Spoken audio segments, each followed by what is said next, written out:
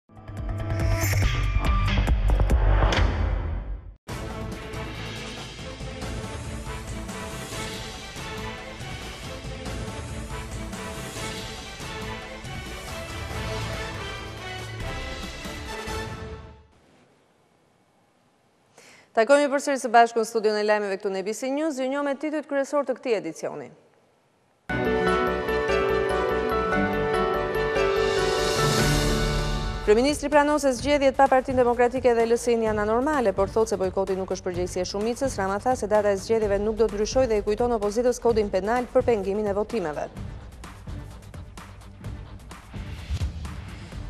Lulzim Basha deklaron se në 30 qershor nuk do të lejohet votimi në asnjë kuti. Opozita jemi ne, ajo nuk klonohet tha Basha në Milot gjatë protestës së pasdites që bllokoi për një orë pesë akse rrugore kombëtare. Kryetarja e Kolegjit të Posaçëm të apelimit thotë për ABC News se procesi i vetingut është bazuar vetëm mbi ligjin. Zonja Mulaj raportoi përpara Komisionit Europian për ecurinë e vetingut. Presidenti i Federatës Shqiptare të Futbollit Armand Duka zhvilloi një tryezë me drejtuesit e disa klubeve të futbollit. Në takim u diskutuan ndryshimet ligjore në kuadër të reformës në sport. Nisim tani më gjerësisht me lajmet. Opozita ka nisur mosbindjen civile duke bllokuar pasditen e sotme 5 akse kombëtare që lidhin Tiranën, me veriun dhe jugun e vendit. Gjatë protestës së zhvilluar në Milot, kryetari i Partisë Demokratike Lulzim Basha u shpreh qartë dhe i prerë se në 30 qershor nuk do të lejohen zgjedhje në asnjë qendër votimi. E di edhe bufi, e di edhe vllai i bufit, Edi Rama. Nuk ka zgjedhje pa opozitën. Detyrë dhe mision kombëtar na bashkon ne. Që 30 qershori mos të jetë dita e një krimi tjetër elektoral. Në asnjë qendër votimi nuk do të lejojmë krimin elektoral të përsëritet, se në burg do të shkojnë me të vërtetë ata që cenojnë zgjedhjet dhe opozita as nuk klonohet, as nuk shpiket dhe as nuk krijohet siç krijohen shërbëtorët dhe mercenarët e Edi Ramës, ka vetëm një opozitë Ajo jemi ne, e bashkuar me popullin, e bashkuar me njerëzit. Më herët duke folur në parlament, Kryeministri Rama përsëriti se zgjedhjet do të zhvillohen në 30 qershor. Rama tha se zgjedhjet pa opozitën nuk janë normale, por kjo, sipas tij, nuk ishte zgjedhje e mazhorancës. Lutjet ia kanë refuzuar, e sot s'ka ç't'i bëjë më shumë opozitës që ka zgjedhur protestat në rrugë. Kush e ka ngrënë, siç e kemi ngrënë ne në këtë sallë baltën, bojën, vezët? Kush? Pse, faji jonë është që mbasi i konsumuan të gjitha mjetet e forta, përfshirë edhe flakadanët këtu, vendosën të ikin nga parlamenti. Kanë dalë në rrugë se nuk vijnë dot në zgjedhje. Se po të vijnë në zgjedhje, dalin ashtu siç hynë. Siç thotë ajo kënga nga zona ime edhe e Xhemalit, ne katonarëve të Tironës. Ashtu hyni, ashtu doli. Angazhimin e tij pro kundërshtarëve politikë e radhiti me çka i dha në zgjedhjet e shkuara, me orët e fjalimeve nga foltorja e Parlamentit që ia kanë kaluar edhe atij që është kryeministër, madje i kujtoi kryetarit Partisë Demokratike, Se kundër kujt bën fushatë në zgjedhjet e përgjithshme parlamentare? Një problem kishim, si të ruajmë votat se do na i blejë fallxhorja. A ju kujtohet e gjithë fushata e dy mijë e shtatëmbëdhjetë-s për të cilën sot akuzohemi ne që kemi blerë votat ishte fushata e Lulzimit për të shpëtuar viktimat e Partisë Demokratike nga lekët e SHPK-së së tregtarit Venedikut Ilirit bashkë me të shoqen Monikën? Ku i gra?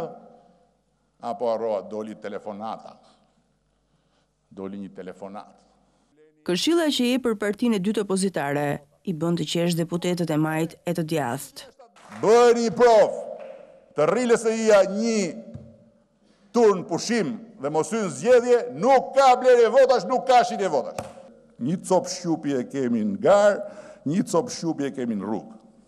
Ndryshimi i vetëm është që kjo copa e shqupit që është këtu nuk e do Monikën. Atë copën e shqupit tjetër e ka marrë Monika, e ka fut n'filxhan edhe e rrotullon për t'i nxjerrë në fund atë pjesën ku L-ja ngrihet lart, e ia bie poshtë. Dhe ka shumë mundësi që mbas kësaj të jetë dikush tjetër që i thotë Mona thuaj që ngjitesh lart që ta djegim se na mori qafë. Dhe çfarë do bëjmë pastaj kur ta djegim? Kemi Astritin. Do bëjmë bashkimin e madh dhe do vi pastaj do bashkohen të gjithë dhe kush do hajë prapë në slymi. Si gjithmonë. Që t'i biem shkurt. Pse më bën me shenjë? Pse ma bën, se dhe ti je për filxhan e Monikës, Sako. Sot thotë se i vetmi hap që do të hedhë janë zgjedhjet e 30 qershorit, kush i pengon i pret burgu. Pengimi i subjekteve zgjedhore, sipas ligjit të votuar në parlament, kur shumicë ishte Sali Ram Berisha dhe në pakicë ishte Edvin Kristaq Rama, Dënohet një deri në pesë vjet burg. Nuk do të jenë të vetëm gjithsesi. Do të kenë koalicione me aleatë por edhe kundërshtarë, thotë kryeministri Rama, midis të cilëve radhit edhe partinë më të re të krijuar nga Astrit Patozi. Ku ndryshon Astrit Patozi nga Saliu? Në një pikë vetëm. Ose më saktë, nga Luli. Luli, bashkë me Saliun, Merrnin pjesë në aferat e mëdha të qeverisë. Astridi vinte këtu i bënte avokatin me duar në xhepa, pa qenë asnjëherë në pushtet. Vetëm këtu dyshoj. Astrid Patozin e ka futur Saliu në zgjedhje. Jo unë. Një çun për rrugë, një çun për zgjedhje, pastaj të shohim ku të dalë. Pavarësisht kërcënimeve, zgjedhjet do të zhvillohen në tridhjetë qershor, është mesazhi i fundit i kryeministrit Rama. Ne kemi përgjegjësinë maksimale jo të fitojmë zgjedhjet, por të vazhdojmë të dëgjojmë njerëzit, të vazhdojmë të punojmë për njerëzit dhe të vazhdojmë të qeverisim. Duan ata, s'duan ata. Do Fatmiri, s'do Fatmiri, bashkë me Dashin, Nardin dhe Qirie Vangjelin. Faleminderit.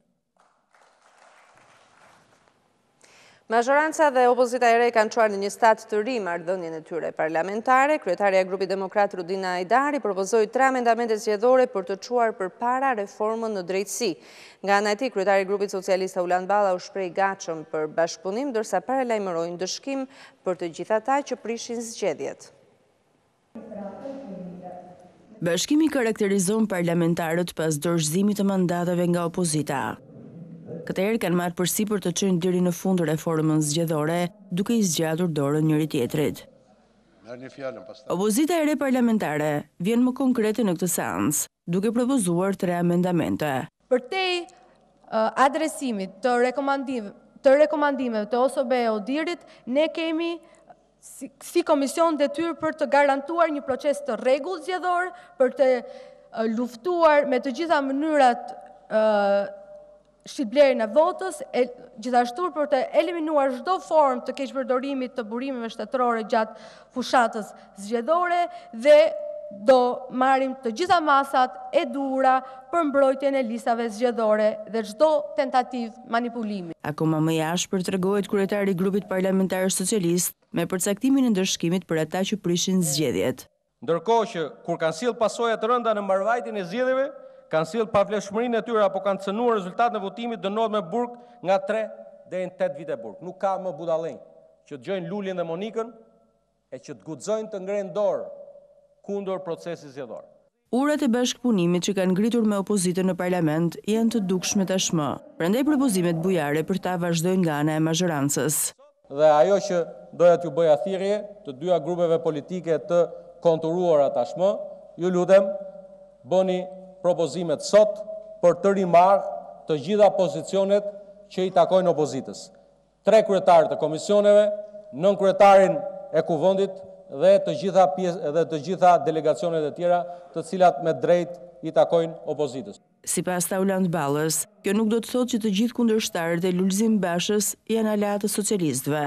Sigurisht ju s'keni faj, por partisë nënë thojeni që Astrit Patozi është i tyre, nuk është yni. Reforma zgjedhore është parashikuar të përfundojë në njëzet e tetë nëntor. Ata që do ta finalizojnë janë dhjetë anëtarët e rinj të komisionit të posaçëm, i ndarë midis mazhorancës dhe opozitës parlamentare.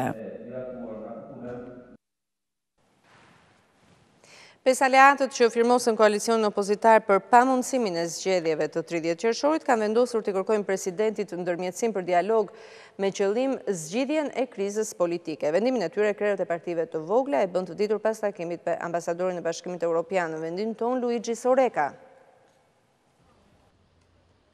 Pesë aleatët që firmosën koalicionin opozitar zgjedhor, Fatmir Mediu, Dashamir Shehi, Vangjel Dule, Agron Duka dhe Nard Ndoka, pas takimit me kreun e delegacionit të Bashkimit Europian në vendin tonë Luigi Soreka, deklaruan se do t'i kërkojnë presidentit Ilir Meta që t'i ulë në një tryezë me mazhorancën për t'i dhënë zgjidhje krizës për zgjedhjet.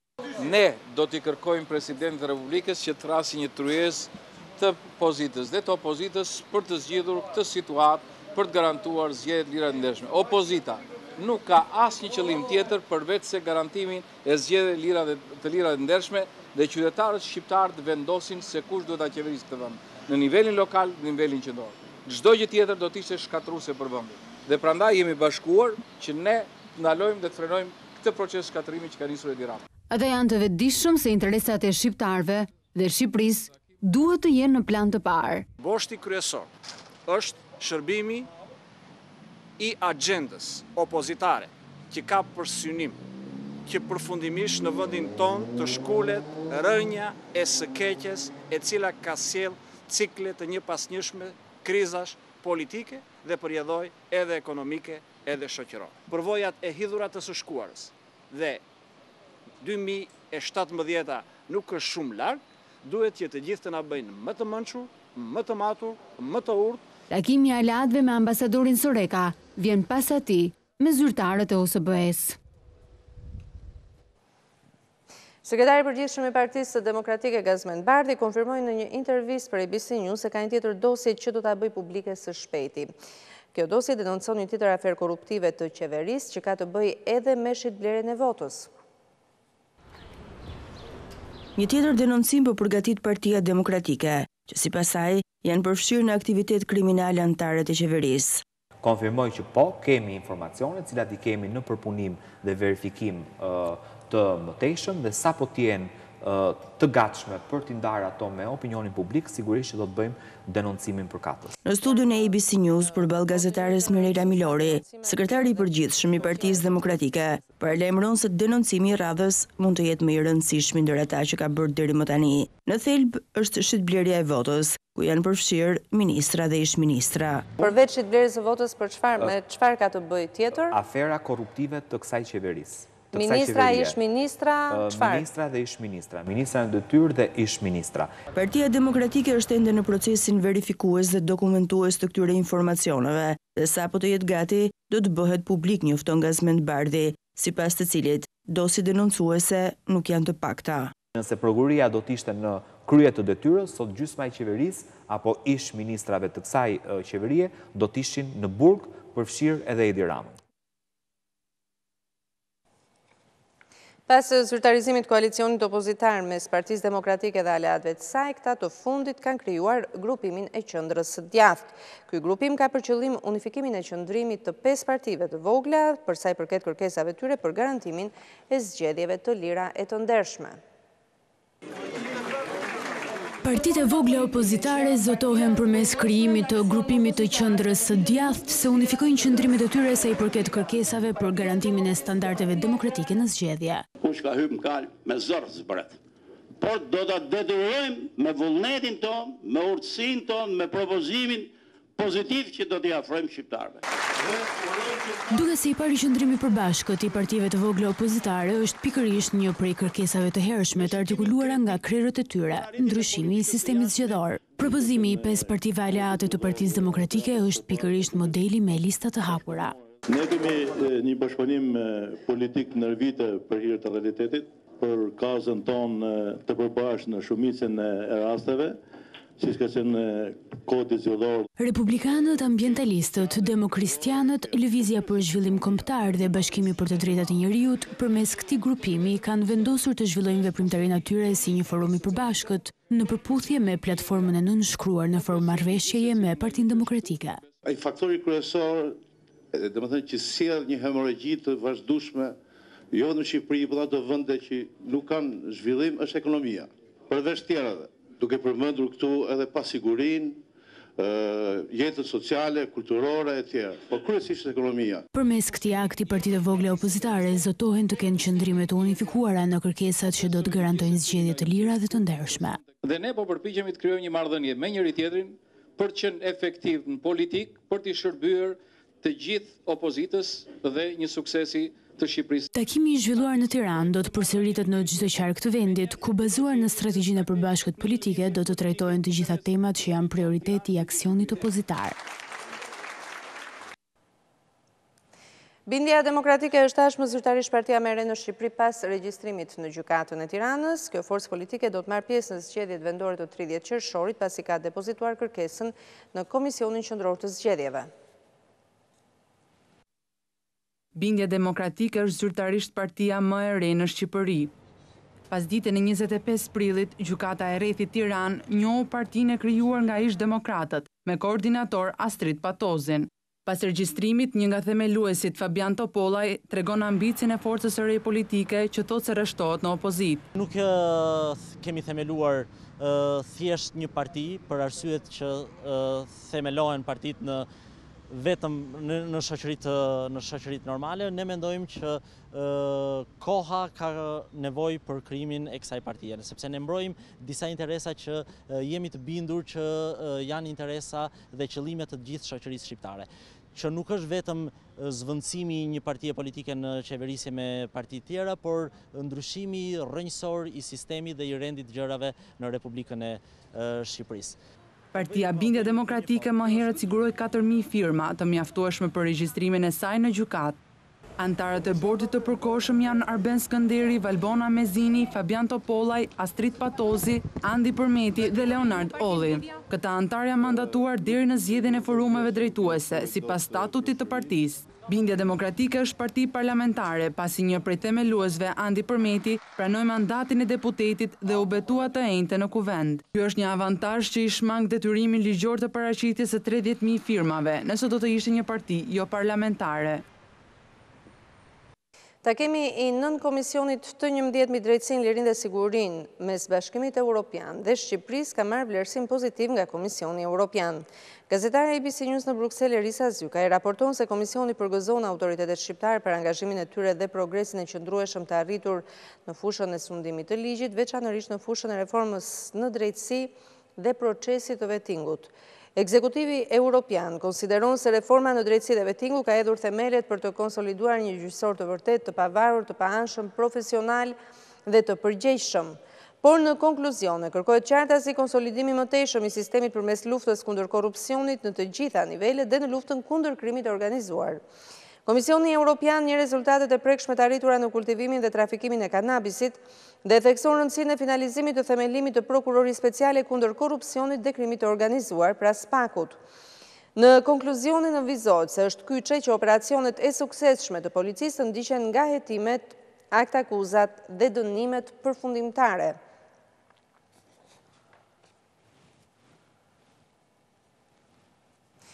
Kryetarja e Kolegjit të Apelimit Natasha Mulaj në një intervistë ekskluzive për ABC News flet për procesin e vetingut, ecurinë e të cilit e ka prezantuar dhe përpara Komisionit Europian.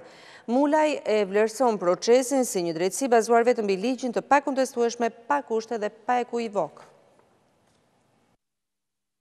Procesi i vetingut është një nga pikat kryesore në kuadrin e pesë kritereve që Shqipëria duhet të përmbushë për hapjen e negociatave të anëtarësimit të vendit në Bashkimin Europian, sot ka pasur një takim të rëndësishëm të nënkomisionit BE-Shqipëri lidhur me sigurinë, me të drejtat themelore, por edhe me gjyqësorin. Ju jeni pikërisht kryesuesja e Kolegjit të Apelimit, një organ shumë i rëndësishëm dhe ju konsideroni që keni bërë një proces vetingu të drejtë. Ku e bazoni ju këtë vlerësim? Faleminderit, kolegji i posaçëm i apelimit i Gjykatës Kushtetuese të Republikës së Shqipërisë është maja e vetingut e piramidës vetingut, baza e jonë ka qenë dhënia e drejtësisë pa kushte, pa ekuivok, një drejtësi e mbështetur vetëm në ligj në fakte dhe në prova të pakontestueshme. Ne kemi parë gjithashtu që ka shumë hezitime dhe ka edhe mëdyshje dhe pikëpyetje lidhur me disa kandidatura gjatë procesit të vetingut. A mendoni ju që me të vërtetë siç e thatë ju po bëhet një drejtësi pa ekuivok, e bazuar vetëm në ligj? Pse pse pse kanë dalë për shembull figura që nuk kanë mundur të justifikojnë pasurinë e tyre apo gjëra të tjera? zhvillime të tilla. Kjo i përket komisionit të pavarur të kualifikimit, ne si kolegji i apelimit ne jemi të vendosur të japim vetëm drejtësi. Këtë nuk e them vetëm unë, po jam e mbështetur nga gjashtë gjyqtarë të tjerë që janë unikë në punën e tyre dhe janë shumë vendosur. Edhe janë shumë profesionistë, edhe jam shumë krenare që jam mes tyre. Kolegji i Apelimit deri tani ka dhënë drejtësi, ashtu siç e thashë më parë, drejtësi të bazuar vetëm në prova të pakontestueshme. Jo drejtësi me inat ose kompleksive, por drejtësi tamam siç e parashikon Kushtetuta dhe ligji. Ne këtë punë do bëjmë dhe do ta çojmë deri në fund. Dhe së fundit, çfarë ju bën ju kaq optimiste për të besuar në këtë drejtësi në një vend si Shqipëria ku korrupsioni është galopant dhe është prezent kudo? Ne jemi të atij vendi edhe qëllimi jonë është ta spastrojmë atë vend edhe t'i thomë të rinjve kudo nëpër botë hajdeni tani se i keni vendin e lirë që të kontribuojë secili ai që ndihet patriot i ndershëm dhe i zoti le të vijë, ashtu siç ne po sakrifikojmë për vendin tonë, secili duhet të kontribuojë të sakrifikojë edhe ai ose ajo për vendin e tij. Edhe jam plotësisht e bindur që ka plot shqiptarë dhe shqiptare që donë që të kthehen edhe të kontribuojë secili për vendin e tij. Kjo është misioni më i madh për secilin. Të ruash identitetin është gjë e madhe. Kudo të jesh, të tregosh që vjen nga ai vend që me të vërtetë ai vend kërkon ndihmën e secilit nga ne. Ne jemi nismëtarë të parë, ne do ta kryejmë misionin, do do hapim vend dhe për të rinjtë e të reja që donë me kontribu për vendin e tyre, e shpresoj që janë të shumtë.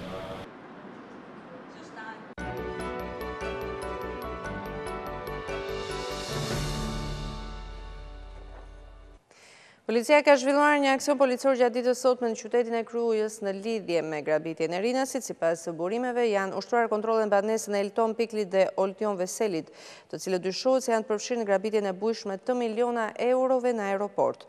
Efektivët e policisë kanë kontrolluar edhe në zonat e thella malore dhe në zonën e Niklës, me qëllim arrestimin e personave të tjerë që janë në kërkim për këtë ngjarje. Nuk dihet nëse janë gjetur sende, para apo prova të tjera gjatë këtij kontrolli të befasishëm. Kujtojmë që Elton Pikli është arrestuar teksa tentonte të largohej drejt Bullgarisë.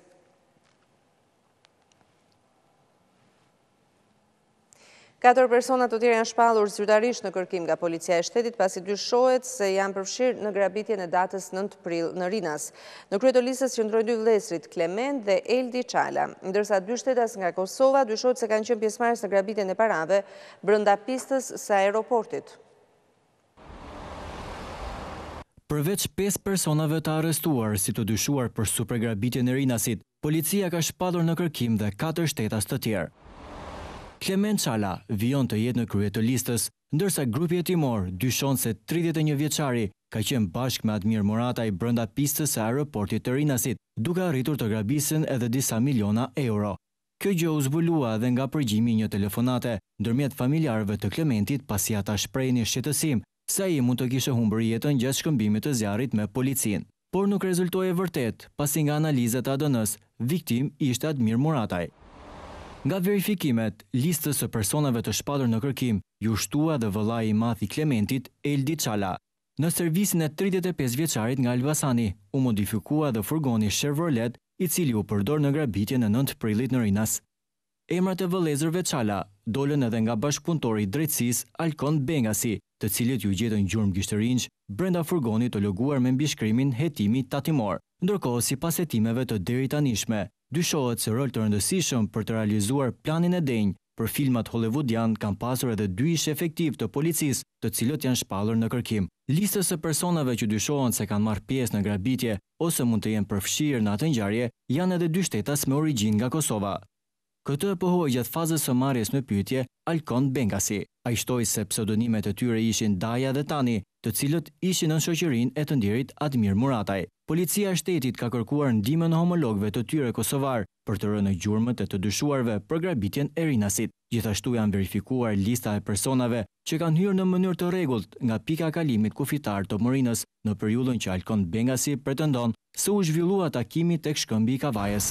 Grupi hetimor dyshon se në total, numri i personave që kanë pasur rol parësor apo edhe dytësor në supergrabitjen e Rinasit është shtatëmbëdhjetë, ndërsa policia ende nuk ka asnjë të dhënë se ku mund të kenë shkuar paratë e marra nga keqbërësit. Ndalemi në zhvillimet nga rajoni në Serbi janë krijuar tensione për shkak të një filmi që paraqet historinë e luftës Kosovë dhe momentin kur forcat ruse u futën nga Bosnja në drejtim të aeroportit të Prishtinës. Drejtori i shtëpisë së kulturës në Bujanovc ndaloi shfaqjen e filmit, ndërsa një parti serbe ka kërkuar shkarkimin e tij nga puna.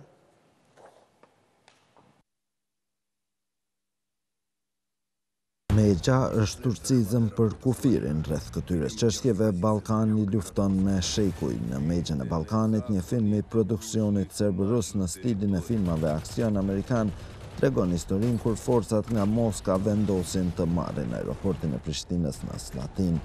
Forcat ruse në fakt ishin futur në Kosovë, por për një betejë të tillë nuk dihet shumë. Ata janë tërhequr nga misioni me KFOR-in katër vite më vonë.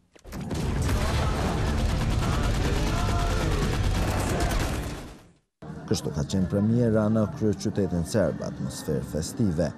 Ky film nxiti reagime në Serbi dhe Rusi, kështu disi ishte planifikuar të shfaqej edhe në qytetin e Bujanocit në jug ku shqiptarët e serbët jetojnë bashkë. Jeton Ismaili, drejtor i Shtëpisë së Kulturës, të cilën e kontrollon komuna, ka marrë vendim për ta ndaluar shfaqjen e këtij filmi.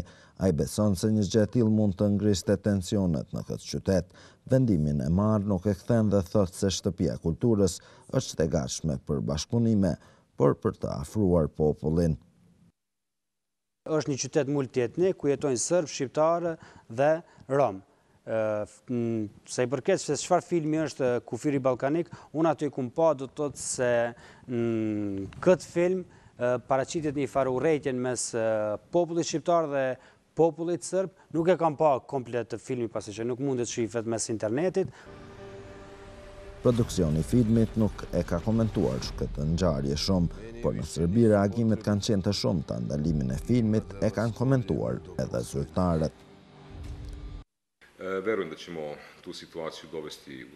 Besoj se këtë situatë do ta zgjidhim me një mendje të shëndoshë. Presim që qeverisja lokale të ndërmarrë një lëvizje të kuptueshme. Gjithsesi, ky lajm nuk është i mirë pasi nuk është në përputhje me politikat kulturore dhe as me politikat e këtij shteti apo pushteteve lokale. Këtë e trajtojmë si një incident, natyrën e të cilit jemi duke e verifikuar.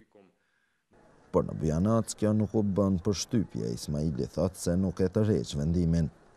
Filmi, derisa të, derisa jam si drejtor unë i këtij institucionit nuk do e lejoj që të shfaqet në qytetin e Bujanocës. Sa i përket pasojave, Dihet do të thotë se si vendosën drejtorët në komunën e Bujanocës, partia opozitare e sërbëve ka kërkuar shkarkimin tim si drejtor, ta shofmi tash në mbledhjen e ardhshme që të cila do të mbahet në kuvend, a do të shkarkohem apo si është puna. Pak projekte të përbashkëta artistike ka në mes të shqiptarëve dhe serbëve. Historitë e luftës duket se pas dy dekadave e kanë mëngjën më të gjatë. Idro Seferi, ABC News, Beograd.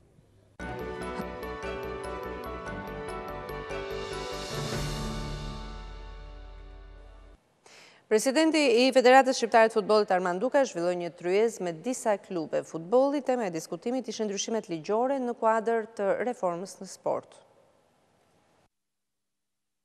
Pas tryezës së kryeministrit Rama për problemet e futbollit, si dhe pas nisjes së ngritjeve të grupeve të punës, lëvizjen e radhës e ka bërë Federata Shqiptare e Futbollit ku sot president Duka zhvilloi një takim të parë konsultativ me disa klube futbolli, përfaqësues të tyre, Në lidhje me ndryshimet ligjore që janë kërkuar dhe janë propozuar në kuadër të reformës në sport dhe futbollit në veçanti. Një pasqyrë e punës së deritanishme iu bë prezente përfaqësuesve të klubeve në këtë takim lidhje me këtë reformë dhe propozimet konkrete të Federatës me qëllim nxitjen, masivizimin dhe suportin e mëtejshëm të sportit dhe futbollit. Drafti i propozuar nga Federata Shqiptare e Futbollit synon ndryshimet dhe përmirësimet në Kodin Penal, ndryshime në Ligjin për Sponsorizimet, Ligjin për Tatimin mbi të Ardhurat, Ligjin për TVSH-në, Ligjin për Sportin, si dhe transferimin e objekteve dhe mjediseve sportive nga njësitë e qeverisjes vendore te klubet sportive. Propozimet e klubeve, të cilat pas konsultimeve të tjera do të pasqyrohen në draftin që Federata Shqiptare e Futbollit do të dërgojë pranë grupeve të punës që janë ngritur nga Këshilli i Ministrave, janë parë me përparësi të veçantë. Pas ngjarjes në Kamëz, kryeministri i vendit së bashku me presidentin e Federatës, anëtarë të qeverisë dhe presidentë të klubeve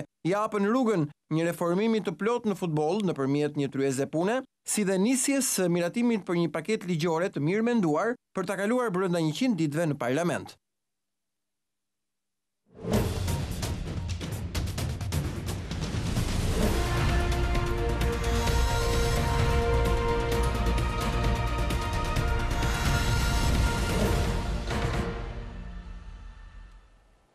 Për të gjithë të rinjtë që kërkojnë një mundësi më të mirë studimi në Britaninë e Madhe dhe në Shtetet e Bashkuara, ekspertët britanikë të CATS College vijnë në Tiranë në datat 26 dhe 27 prill për t'i njohur ata më nga afër me programet dhe bursat e studimit.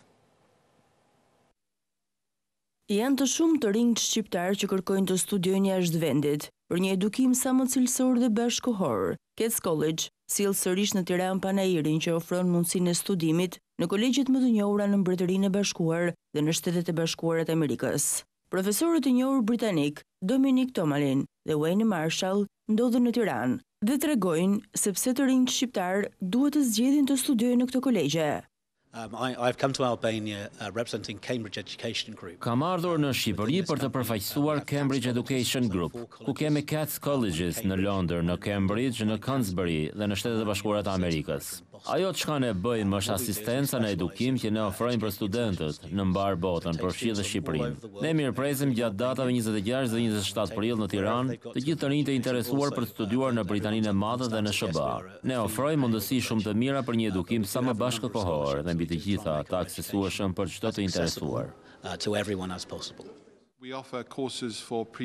Për të interesuarit, ne ofrojmë kurse dhe nivele të ndryshme përgatitore për të gjithë studentët që duan të studiojnë në universitetet më të mira të Britanisë së Madhe dhe SHBA-së. Ne jemi në Shqipëri për të dhënë kontributin tonë në edukim për të gjithë ata që duan të shkollohen jashtë vendit, më konkretisht në Britani të Madhe dhe SHBA. Tarifat tona janë shumë të arsyeshme, duke iu ofruar studentëve shqiptarë bursa studimi, si dhe ulje tarifash deri në shtatëdhjetë e pesë për qind. Ekspertët e CATS College mund të kontaktohen nga të gjithë të interesuarit e moshave katërmbëdhjetë deri në nëntëmbëdhjetë vjeç në datat njëzet e gjashtë dhe njëzet e shtatë prill në Hotel Plaza në Tiranë nga ora dhjetë deri në orën tetëmbëdhjetë.